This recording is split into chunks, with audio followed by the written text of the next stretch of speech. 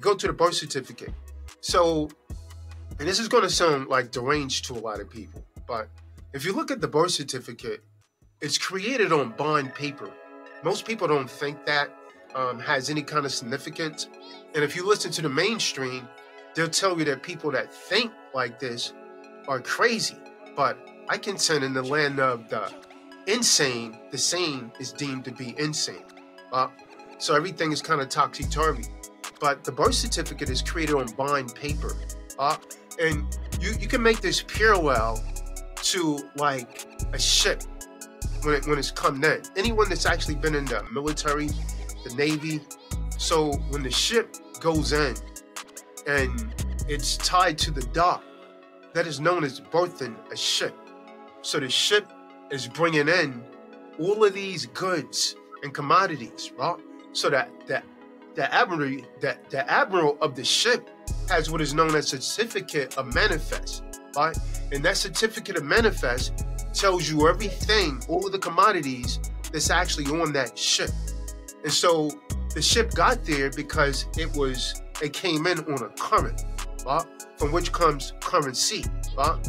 And so it's the same thing with the woman. And you know, when she's bringing forth birth, the baby comes in on her water.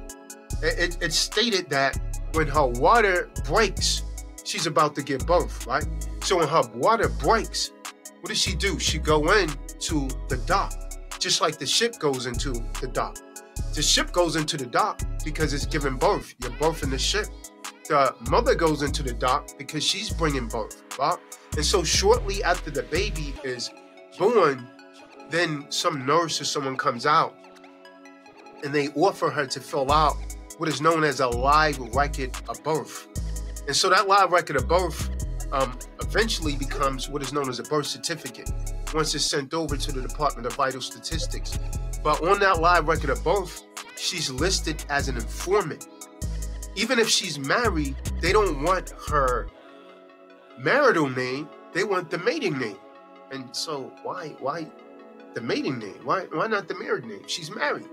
Because as you and I know, any son or daughter, they call them children, that doesn't have a father is referred to as a bastard. So essentially, when she signs that live record of birth, she's signing her son or daughter over to the state. She's giving the state authority right there, right? And since the child is considered to be a bastard, the state seen, uh, assumes the responsibility of being the father. So now, if somewhere down the line she decides to discipline the child or goes against what the state wants, the state sends in CPS or whatever it's called in your particular state, and they take the child away. But she agreed to it because a birth certificate is a contract. And also, when now when they're presenting that live record of birth, they also asked her to fill out the Social Security application, which is also a contract. So that's a way of tracking, right? And so with the Social Security and the birth certificate, they create something known as an estate, but they don't refer to it as that. And the estate is known as a Treasury Direct account. Now, since no one is actually appointed to be the executor of that particular estate, the mother's not appointing anyone, the father's not appointing anyone, the state appoints an attorney to manage that estate as executor.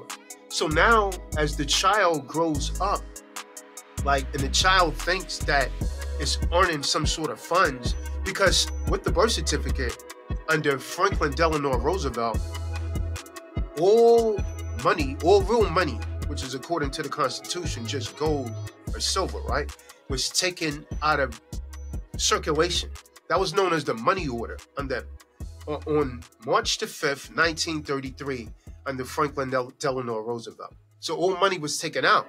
But when the money was taken out, they had to give a remedy or it would be considered fraud. So the remedy what they provided was House Joint Resolution 192. Public law, because people say, well, that's a House Joint Resolution. Resolutions change. Okay, well, it's backed by Public Law 7310. And you could also find it in the U- UCC codes as, um, what is it, um, 18 USC um, what is 15 USC? Um, I believe. Let me see. 18 USC 5081. No, 31 at 31 USC. Um, 5118. 31 USC 5118, I believe it is. So it, it's in many places. And what it states is that since they took money out of circulation, real money, which is gold and silver, then they would pay for everything dollar for dollar on the public sector. That means they will cover all of our debts dollar for dollar in the public sector. So the birth certificate, unless we take control of it, the state appoints an executor to control it. And so when we out when we're out and we're actually working to earn a living, um, we're really just like paying ourselves because that comes from our signature since there's no real money and our energy